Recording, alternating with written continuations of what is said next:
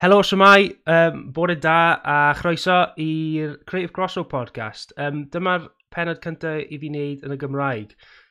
Ta'n siŵr os oes angen i fi gyfieithu'r teitl neu beidio, ond um, dyna ni, dyma fi. Um, a bore yma mae gwesti arbennig iawn gyda fi um, yn dylledu yn fyw o Ynys, uh, ddim actually o mainland Cymru.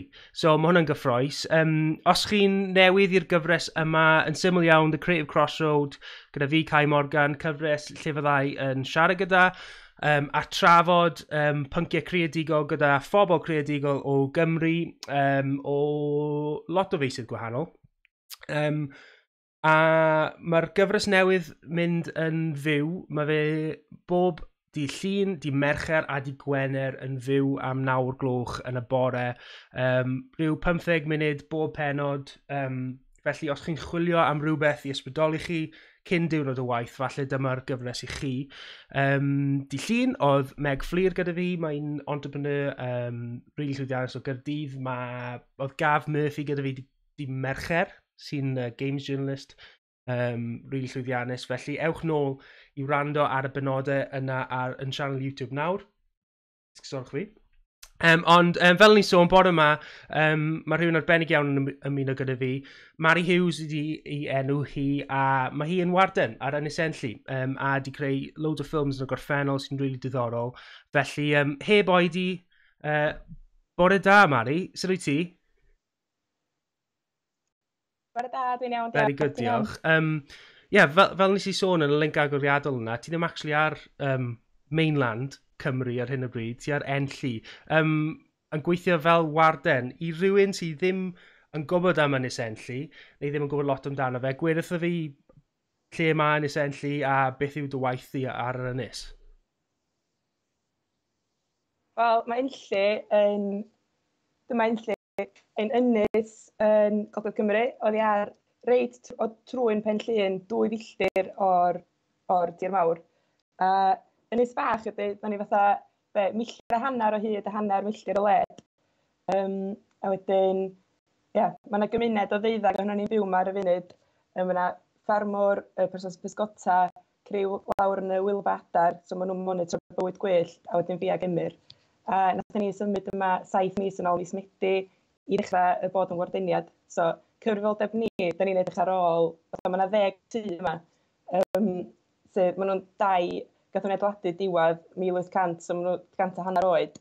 A, ia, yn ystod yr ha, so wwan i fod, um, da ni fod yn edrych ar ôl y bobl sydd yn dod i aros yn y tai, ond wrth gwrs, dos na neb ddod eto achos wow. o virus. So, so, so, so kind of, um, dath y cyfle yma i fod yn wardeniad, oedd hwnna'n rhywbeth fel dath yn kind of, uh, fel job advert ar cyfle neu rhywbeth fel sut, sut dath y, prof, y, y cyfle yna i chi? Um, Ti'n gwybod be, oedd a, wel, oedd y swydd, just, nath, nath awardeniad newydd gychwyn llynad, a wedyn gath i mab nwydd ddod fyny um, yn anysgwyl, rili. Really. Dylsa bod nhw wedi bod yma, am, mm. illa sy'n nhw wedi gallu bod yma am ddegawd, wow. ond, ie, yeah, dod y cyfle fyny, a wedyn nath e ni fynd amdani. Waw. So oedd kind of, fel beth be sy'n angen ar CV warden yn esentli cyn dod i wneud rhywbeth fel hyn. O, yn amlwg, falle fydd y pobl sydd wedi gweld dy waith di yn creu ffilms o'r blaen yn gwybod bod ti'n anturiaethwr yn teithio o gwmpas y byd lot, hoffi fynd allan i'r bywyd gwyllt. Kind of beth sy'n angen i fod yn warden ar yn esentli? Dwi'n meddwl, Swn i'n dweud, y quality mwyaf ydy fatha, rhaid chdi fod ta gritty, yeah. mae rhaid chdi gael grit, achos mae lot o waith calad. Um, dydy o ddim yn, dwi yn fatha living my dream, de, ond lot o bobl dwi'n meddwl fysa fo. Mm. Achos mae lot o gwaith yn galad, ti wedi blino diwedd y dydd, mae lot o waith cynnal a chadw, peintio, llnau. A wedyn wrth gwrs, ti ar ynys, so, ti'n anhygoel i fi, achos ti'n gwybod, dwi'n cael mynd nofio, mm. cael hmm. mynd, ti'n gwybod, dwi'n fyny mynydd, mae'r môr go tri cael lawr o tŷ. Um, so, ond dwi'n meddwl mae rhaid i gael bach o grit. A dros y geia, mond fi ag Emyr oedd yma am bron i ddeg wsos. Felly, o hwnna'n brofiad newydd. Wow. Um, ond hollol, wnaethon ni rili really mwynhau. Fatha, mae'n jyst yn brofiad unigryw. Dwi'n meddwl, dwi'n meddwl, dwi'n trio aprwtio fatha profiadau fi fatha bod yn ymwybodol y cyfnod ydy bob dim. So, ti'n gwybod, hyd yn oed os 'di o fatha bach yn, dwi'm yn gwbod, doedd o ddim mor heriol ag o'n i'n meddwl, mm. ond ti'n jyst yn meddwl, cyfnod dy gia, a mae Gwanwyn yn dod, mm. ydy? A mae Gwanwyn yma, wan. Yeah, yeah. yeah so... Wow, amazing. Wel, well, wrth gwrs, dros y gea, geithon ni y stormydd mwy o cryd ni wedi gweld ers hmm. degawdau. E. Sio profed oedd hynny i fod ar ynys um, trwy Dennis a pwy bynnag arall storm oedd gyda ni? E, oedd o'n rhemp, dy. Fatha, Dennis, na ci, Ciara, oedd yr un gweitha, oh, yeah. nath hitio yn y nos. So, oedd beth oedd yn dechrau dy wyntog, a wedyn, ta deg gloch nos, oedd wow. hitio'r ynys. Achos o'n byd yn stopio fo, mae'n mm. dod syth off y mm. môr. Mm.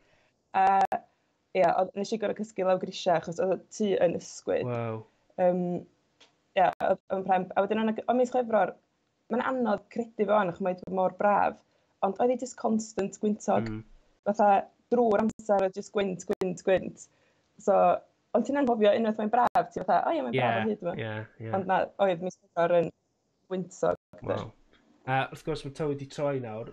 Um, be, sut profiad yw ei kind of fel stupid question falle, ond fi'n mynd i ofyn e anyway. Be chi'n neud o ran bwyd y stuff? Chi'n tyfu popeth eich hun, dal pysgod o'r môr a bwyta fel ni, neu chi'n gael fel Tesco's delivery bob wythnos?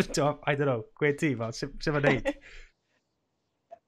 Ie, wel, obviously, fatha, mae'n mis Ebrill rwan, yeah. so mae fatha the hungry gap maen nhw'n galw fo sy'n garddio, achos mae stwff, ti'n ei bita stwff ti wedi plannu, yeah. a di stwff ti wedi, ti'n gwybod, o llynad, a di pethau fynd i dod eto.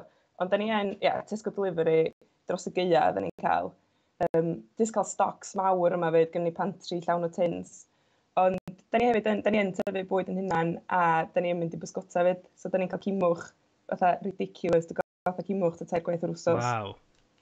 So fatha... So pobl yn talu lot i gael hwnna? O, fatha, na, mae'n serious. Wow. Mae'n ma teimlo, mae yn brofiad bizar bod yma, fatha, dwi'n gwybod, mae yna rhyw kind of euogrwydd bod ni'n cael bywyd mor braf ar y funud mm. a beth sy'n mynd ymlaen, mm. de. A ti'n teimlo fatha, da ni'n methu bod ar rhan o hynna, dwi'n methu helpu, mm. dwi'n methu, dwi'n siŵr os dwi'n i adra wan, swn i'n gwirfoddoli mewn rhyw ffordd i mm. drio mm. neud bod o ddefnydd, fatha person ifanc iach, ond 'Da ni'n methu wneud hynna fama. Ond wedyn dwi'n gorfod cofio job ni ydy edrych ar ôl yr ynys, a da ni'n ni, gwneud hynna i gorau gallu ni. So gweddodd fi, sut brofiad yw e ar hyn o bryd i fod yna, yng nghanol hyn i gyd, dim mae rhaid i bobl aros adre fan hyn yng Nghymru a, a o gwmpas y Deyrnas Unedig, fel mae rhaid bod yn teimlad rhyfedd i fod ar ynys um, i ffwrdd o hyn i gyd. Yndi, mae o. So, mae, fel o'n i'n dweud, mae yna ddeuddeg yn ni yma a mae pawb wedi bod yma ers cychwyn mis Mawrth. Oh, yeah. So cyn y lockdown. So mewn ffordd, da ni wedi fatha creu yn uned teuluol erbyn ni'n byw yn yr un tŷ. Mm. Da ni, da ni gwybod bod pawb yn... neb yn mynd i roed o i neb, math o beth. Mm. Felly, da ni dal yn gallu cymdeithasu, gyda ni barbecue os dwysa, e, da ni lawr i'r ffarm am swper yno. Um, so ti yn teimlo, ti'n methu rili really rhannu hynna, achos bod o'n rhywbeth di bobl eraill ddim yn cael ar y funud, a ti'n teimlo yn ofnadwy o lwcus bod ni yn. Um, ond ia, mae o'n i gyfod ar enlli pan mae mor braf a ddim ymwelwyr, mae'n mae fatha mynd yn ôl cam mlynedd mm. i sut sydd wedi bod adeg yna lly. Mm. So, ti'n sôn am ymwelwyr fyna, yn amlwg, dim ymwelwyr yn dod ar hyn o bryd. Be, fel, yn kind of, y gwanwyn arferol, haf arferol, faint o ymwelwyr chi fel arfer yn derbyn bob diwrnod?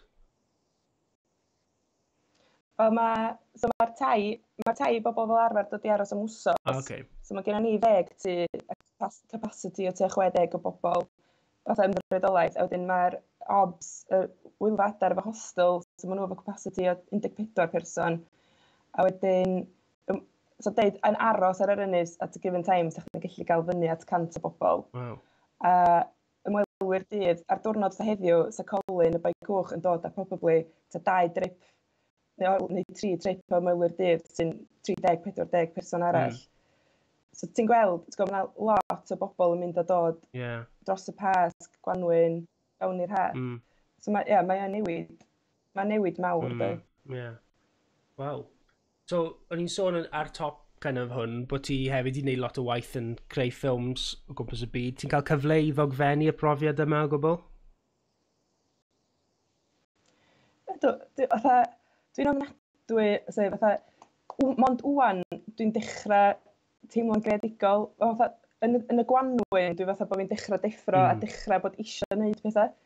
so dwi'n bod yn dechrau wthnosa' dwytha' yma, dwi'n bod yn dechrau ffilmio mwy a ti'n meddwl, ach, pam nes i'n ffilmio'r stormydd 'na mis hmm. chyfror? ond fatha' yn y gaeas, gen i fi jyst ddim y drive 'na dwi'n jyst fatha' whatever fatha' Mm. ond wwan, dwi'n dechrau ffilmio bach mwy, gweld peth o ia, fe rei, ma'r ma adar wedi dod yn ôl a mae'r sain jyst yn anhygoel. Wow. Fatha, y nos, da ni'n cysgu fo ffenast ar agor, achos mae'n fatha um, Manx Tree Waters, Dryci Manaw yn ysu yma, a maen nhw'n fatha treulio'r geia yn Brasil, a wedyn maen nhw'n dod yn ôl i enllu bridio, a maen nhw'n fatha 40,000 ohonyn nhw. Wow. So, maen nhw gyd, maen nhw mond yn dod fewn i'r ynys yn y nos, achos maen nhw mor clymsig, gyda nhw'n lladd, os nhw'n dod yn ôl yn y dydd. So yn y nos, gen ti fatha 40,000 o bodiadau yma yn dod yn ôl yr un pryd. A mae'r sai, mae jyst yn anhygoel. Yeah. Wow. So fatha, dyma wwan dwi'n dechrau, ynddo, dechrau gwneud amser a fatha dogfennu fo bach gwell na nes i yr saith mis cyntaf yma. Achos os um, chi ddim yn gwybod, mae, ma gan ti a Emyr uh, Instagram account does, byw ar enlli. So, Oes. so mae... Um, yeah, ddechrau byw ar enlli. Go on. Ie, yeah, wel, efo byw ar enlli, da ni'n rhannu, ond mae'n swnio wirion, ond mae gymaint yn digwydd yma. Ti'n methu, elfen tiny, tiny, tiny, tiny, da ni'n rhannu mm. ar byw ar enlli. Mm. Ac yn ymwneud, efo approach cadw'r dudalen, o'n i yna, dwi'n yna'n gwneud rili really rhannu bob dim. Neu dwi'n cadw fo fanna, a dwi'n penderfynu'r LDP, fatha, dwi'n gadw fo mm. fatha, jyst rhannu mymryn. Cool. Ond dwi'n bobl dal yn ffeindio fo'n eitha diddorol yeah. beth da ni'n neud. Yeah. Wel, sa'n gwybod uh, am y wardenio diwetha, faint oedden nhw'n kind of rannu, ond I guess yn 2020 mae'n ma rhywbeth uh, kind of amgen really i rywun ifanc i fod yn gofalu am ynys. So, mae'n ma really cool. So, yeah, os, um, os chi eisiau gweld mwy, a, a, a gweld lluniau a clip, clipiau fideo gan Mari ar yr ynys, ewch draw i byw ar enlli. Na i roi yn y disgrifiad o dan y darllediad yma. Fi'n credu mae'r amser yn dechrau dod i ben nawr, Mari. Um, ond, uh, kind of, beth yw'r kind of plan really nawr dros y misoedd nesaf? Yn amlwg, mae corona yn mynd i newid pethau ynglyn â faint o bobl sy'n mynd i ddod i'r ynys, ond i chi, I guess, chi jyst yn mm. parhau i ofalu am yr ynys, ie? Yeah? Ie, yeah, ti'n cael ymlaen efo'r gwaith. Um, mae yna lot o gwaith cynnal eich adw yn enwedig pethau'n dechrau tyfu, gwair yn dechrau tyfu, angen bod yn edrych ar ôl i'r llanfalan wrth ni blannu. Um, so, ia, yeah, jyst cer ymlaen i weithio. A just, ond da ni wirioneddol edrych ymlaen i pawb beth wedi dod, mm. dy, draw, achos oedd e, pas gen ni ffrindiau falle'n dod y teulu, a ti just, ia, yeah, da ni yn, er bod ni'n cael bywyd braf yma, da ni'n, ti'n gwybod, ti'n hiraethu mm. i hmm. weld gwneud cyfarwydd. Mm. Wow.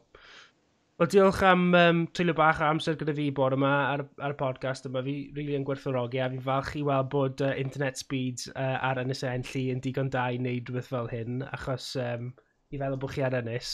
so, um, amazing. Diolch yn fawr. Um, pob lwc gyda uh, popeth ar Enlli, a fi'n siŵr, wel, fi'n fi methu aros i weld mwy o stuff ar Enlli, a falle dechreu'r podcast yna, fel o ti'n sôn am cyn, ddim dod arno. That'd be wicked. Yeah, dyna i. Diolch. Bydd lot o bobl yn gwrando arno yn, yn cynnwys fi. So, um, well. yeah, diolch Mari. Uh, wicked. Yeah, um, diolch i bawb sydd wedi gwrando bore yma.